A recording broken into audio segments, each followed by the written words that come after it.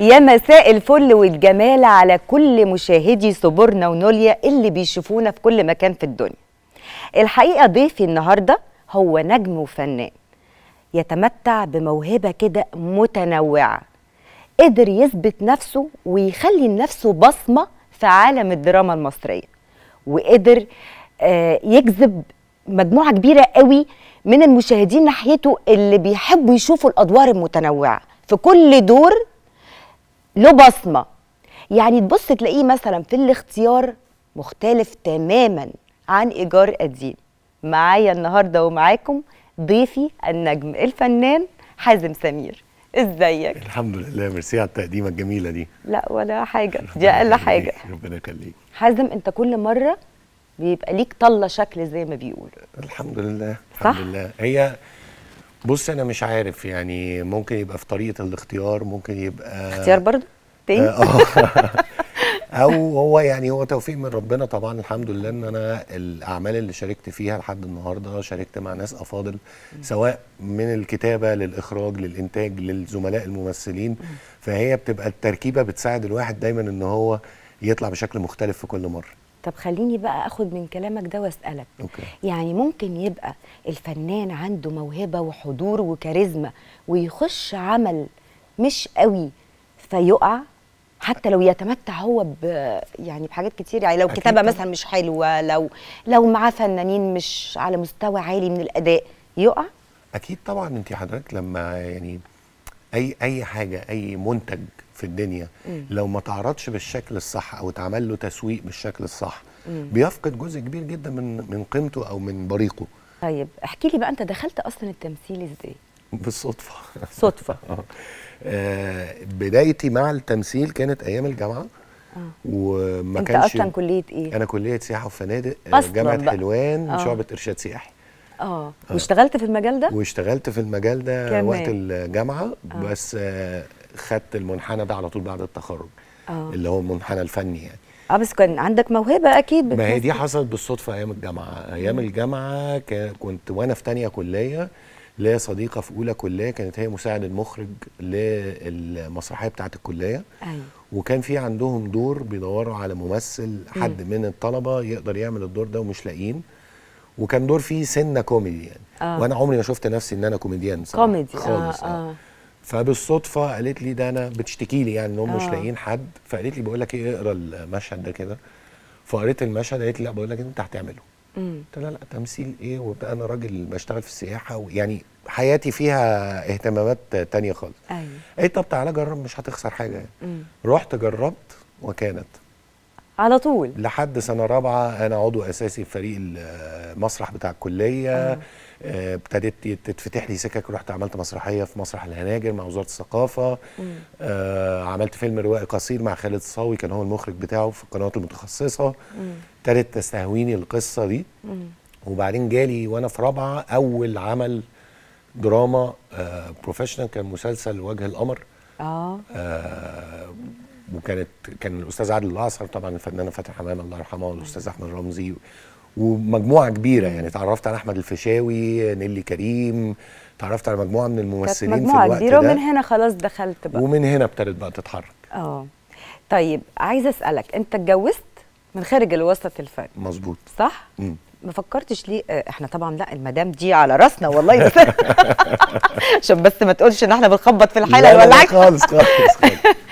انت انت أكيد كنتوا بتحبوا بعض قبل ما تخش يمكن ده انت حقيقي المجال ده صح؟ حقيقي مم. لا إحنا كنا بنحب اتطرفنا على بعض أنا اشتغلت فترة 12 سنة تقريبا مونتير اعلانات و آه اعلانات لا ده انت. معجون بالفن بقى آه يعني أصل المونتير دي صعبة برضو أنا حبيت ده في. يعني في ناس مخرجين كبار دلوقتي أساسهم إن هم كانوا مظبوط مونتير مظبوط فأنت يعني فنان في نفسك كده من كله بقى أنا عندي نهم طول الوقت إن أنا. أتعلم فكنت اتعرفت بقى على زوجتك اتعرفت على زوجتي آه، هي كانت كلاينت وأنا مونتير وجاية أمنتج لها حاجة لشغلها وهنا ده تم آه. التعارف بالشكل ده. آه، فكرة بقى بس إحنا اتجوزنا بعديها بسنين كتير يعني اتجوزت وأنا 37 سنة آه. أنا متجوز من ما من 10 البنات سنين. البنات النهارده بيتجوزوا 37 سنة. آه أنا يعني- اتجوزت من 10 سنين. ما كانش عندي نية للجواز الحقيقة. أصلا. خالص. آه كنت خايف مش من الارتباط خايف من مسؤولية الأولاد وتربية الأولاد. آه، لا إحنا هنيجي للحتة دي عشان آه. أنا عندي معلومات عنك مهمة جدا في أوه. الموضوع ده. آه okay، لا okay. ما إحنا لازم هنا بنتناقش طبعا بعد ما أسألك سؤال كده الأول لازم هروح لحياتك الشخصية okay. ونتكلم in general في في الجواز وفي الطلاق وفي تمام. المواضيع المنتشرة تمام. دلوقتي. إيه أكتر دور قريب من قلبك؟ لا أدوار كتير. أنا بصي هقول لك حاجة. أنا أنا علاقتي بالدور دايما ما هياش علاقة إن أنا بقرا مشاهد وأخش أعملها وأمشي. آه وأنا ما كنتش أعرف كده. يعني أنا عرفت ده من المدام. إن أنا فوجئت إن المدام بتقول لي على فكرة أنت مش أنت مش إحنا شخصيتك. بنتعايش مع ملامح من الشخصية اللي أنت بتعملها في الفترة اللي أنت بتصور فيها. مش مش زيادة عن اللزوم. لا لا مش مش للدرجة دي بس بيبقى فيه صح. تاتشات. آه، فاكتشفت إن أنا طب بالطبيعة كده بتعايش مع الشخصية بشكل أيوة. ما. فلما بتتعايشي مع الشخصية فترة طويلة بتف- بتفضل منها حتة جواكي. فما أقدرش أقول إيه أكتر حاجة مرتبطة طب ولو بتعمل. عملين في وقت واحد؟ عملتها في مرة كانت كنت واخدها كانوا ثلاث أعمال في وقت واحد. وكنت واخدها نوع من التحدي إن أنا أقدر أطلع أنط من الشخصية آه. دي الشخصية دي الشخصية دي. وخصوصا كان في بينهم تشابهات شكلية. فكان تحدي بالنسبة لي بس م- بعد ما عملتها المرة دي قررت إن أنا عمري مش هعملها تاني. مش هتعملها تاني. مجهدة جدا. آه متعبة جدا خصوصا مع عدد ساعات التصوير اللي إحنا طبعاً، بنعملها. طبعاً. فبتوه يعني جالي لحظات كنت بتوه أنا فين بعمل شخصية إيه؟ يعني فدي لا ما, أقدرش اعمل بس كده. أكيد يعني أنا اشتغلت كذا حاجة في حاجة كده بتبقى قريبة مني لا في حاجات بتبقى قريبة مني يعني طبعا آدم أو حاجة علمت ونجحت فحبيتها مش نشوئاتي طبعا هيفضل طول حياتي هبة رجل الغراب ده في مكانة خاصة ده كان صح. البداية ده اللي عرف الناس بيا أيوة. قعدنا فيه سنة ونص صح. بنيت صداقات وبنيت علاقات ويعني كان أجزاء كمان. كان أجزاء وقعدنا سنة ونص وكانوا سنة ونص في فترة كمان سياسيا على البلد. ابتدينا نصور من أواخر 2012 ل- خلصنا آه، نص أوائل 2014 فكان فترة آه، آه، طويلة. مهمة في حياتنا مجتمعيا وسياسيا في البلد. فلا هو بكل المقاييس ده ليه مكانة لوحده لا يقارن بأي حاجة تانية. بعيدا عن ده لا عندي طبعا آه، صلاح قنديل في خط حرير دكتور سليم في وعد طارق في بين عالمين. الثلاثه دول يعتبروا كده في المكانه اللي بعد هبة رجل الغراب على طول. طيب آه بص أنا عارفة إن أنت ما شاء الله عليك حازم زوج هايل وأب جميل وحريص على تمارين ولاده وفي حاجات كده أنت إيه بتحطها أولويات؟ يعني ما شاء الله ما شاء الله تاتش وود إحنا مش بنحسد بس قليل قوي دلوقتي لما بنلاقي راجل دايما رامي الحمل على الست في الحتة دي. ده حقيقي صح. ولا لأ؟ ده حقيقي. آه. بصي هقول لك حاجة. أنا خوفي من الارتباط زي ما قلت لك من شوية. المسؤولية. كان مسؤولية تربية الأولاد. مم. لأنه التربية أنا طول عمري بشوف إن مش هتعرفي نتيجة التربية غير بعد فوات الأوان. مم. لما يكبروا. أيوه. آه، فكنت بخاف من دي جدا. أيوه. خصوصا إن أنا والدي ووالدتي كانوا منفصلين آه. فأنا متربي في بيت ما فيهوش الأب والأم مع بعض آه، من وأنا صغير. فعارف المخاطر وعارف المخاوف وعارف الحاجات دي كلها. لكن لما خدت قرار واتجوزنا أنا ومراتي أنا خدت عهد على نفسي إن أنا لن أهرب من المسؤولية برافو لأني ما عنديش استعداد للندم لما أولادي يكبروا. وأنا والدي ووالدتي كانوا على حده داخلين في التربية مش ما حدش فيهم معتمد على التاني بشكل آه، أكبر آه، آه. والدي كان بيقوم بدور الأب والأم في فترات كبيرة جدا من مم. حياتي فكان حاب كنت حابب ده بالمقارنة بأصدقائي اللي كنت بشوفهم وإحنا بنكبر. مم. كنت حابب الحميمية اللي في علاقتي بأبويا أو علاقتي بأمي على يعني كل واحد كل واحد على حدة. أيوه. وأنا بحب ده لأن برافو. أنا طول عمري حازم لما بيدخل في اللقاءات العائلية أنا بيبقى حواليا 12 13 طفل من بتوع العيلة. أنا بحب ألعب معاهم بحس بطفولتي. تقدري تقولي كده. فبعيش معاهم أيوة. الحاجات اللي أنا عشتها وأنا طفل. وفي نفس الوقت أنا حابب مع ولادي جدا فكرة إن أنا بعيش اللحظات اللي بابايا كان عايشها معايا وأنا كنت ببقى شايفه وأنا صغير ومش قادر كنت دايما بفكر هو بيفكر في إيه ك- كأب وأنا بكبر. أيوه. فقادر أعيش ده كأب مع ولادي وقادر بفتكر مواقف كتير جدا مع والدي وأقدر أقول آه الله يرحمك. آه انت عشان كده اتصرفت كده طب ما إحنا هناخد. رأيك دلوقتي في حاجة نشوفك بقى انت حلال مشاكل و... لا مش حل وفيلسوف في نفسك. كده. هنختبرك دلوقتي يا. أستاذ حازم. اتفضلي. معانا مشكلة طريفة قوي. بتقول إيه بقى؟ دي فقرة اسمها اسأل نوليا. أوكي. بيقول لك آه آه الحقيقة أسعار الهدوم والملابس الشتوية غليت قوي. دي واحدة بعتة بتقول كده. تمام. طيب أنا عايزة أسأل جوزي يعني لو سمحت أنا عايزة أجيب لنفسي والولاد آه اللبس الشتوي آه. يعني عايزة فلوس. تمام. خلاص؟ فبتقول لك بقى أسأله ولا اخدها من قصرها وأطلب الطلاق على طول. يعني آه ما يعني بحبش- عارفة اللي أنا ما هيتقال. بحبش كلمة الطلاق دي. أصل الطلاق دي بقت يعني للأسف من كتر ما بقت كلمة سهلة إنها تتقال بقت نسبة إنها تتنفذ أعلى بكتير. آه. آه أنا واخد عهد مثلا أنا والمدام إنه الطلاق ده مش حل إلا لو هو الحل. أيوه. لكن ما يبقاش سهل إن إحنا حتى بهزار ما بنتكلمش فيه. الكلمة دي خط أحمر لو هزرنا فيها هتبقى سهلة إنها تتقال في الحقيقة. آه طبعا في ضغوطات مالية في ضغوطات آه على الأزواج وعلى الزوجات في كل حاجة طبعا. لا تقول له طبعا لأنه أهم حاجة يبقى في بينهم لغه حوار بشكرك كمان مرة. ونورتني.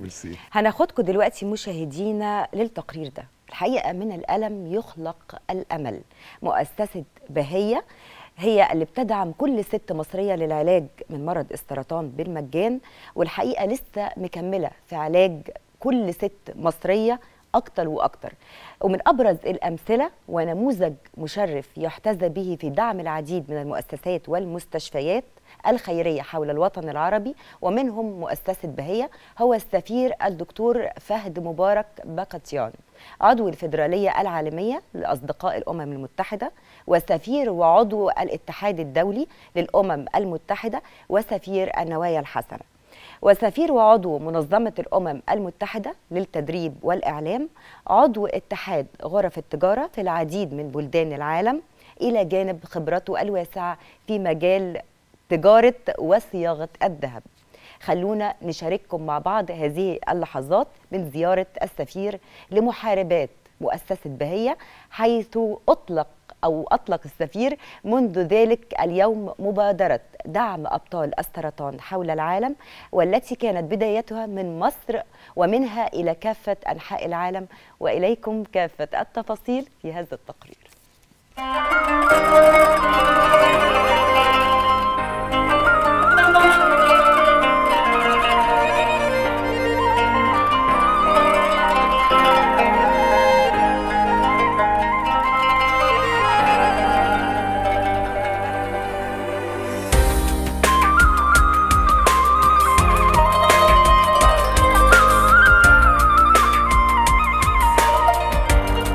أنتوا محاربات وأبطال والجنة تحت أقدامكم.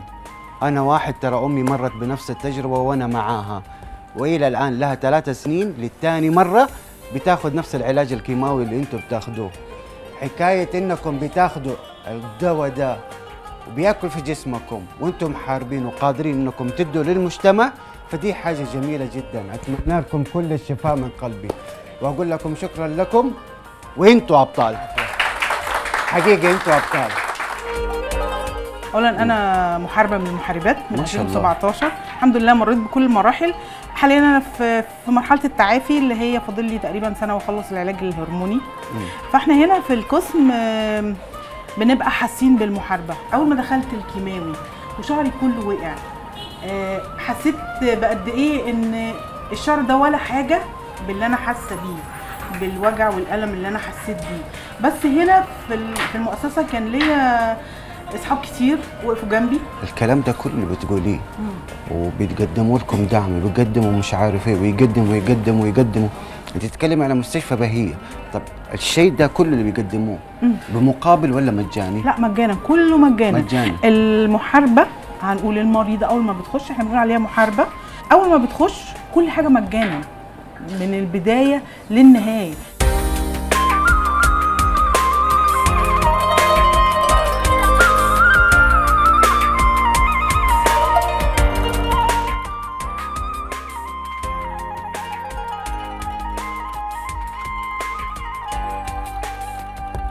بهية نظام متكامل للتعامل مع آه، أورام الثدي بندي خطة علاج كاملة خطة العلاج دي بتطلع من لجنة طبية. لجنة طبية فيها كل التخصصات المعنية بأورام الثدي. فيها جراحة الأورام فيها أمراض الأورام فيها آه، دكتور أو استشاري الباثولوجي فيها استشاري الأشعاعي فيها استشاري الأشعة فيها حتى استشاري العلاج آه، الطبيعي لو احتاجناه.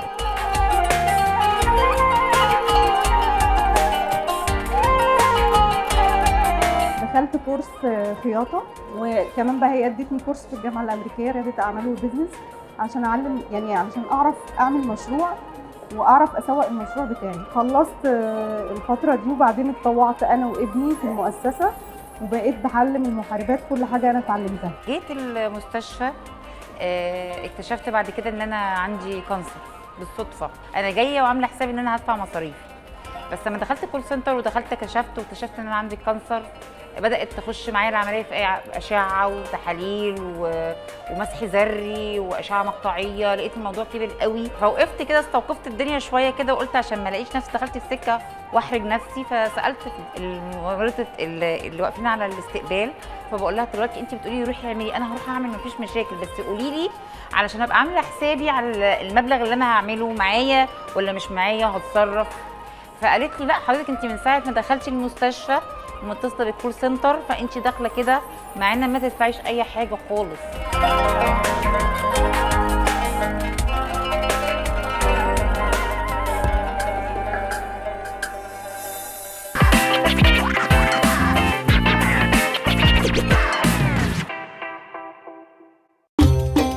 هذا البرنامج برعاية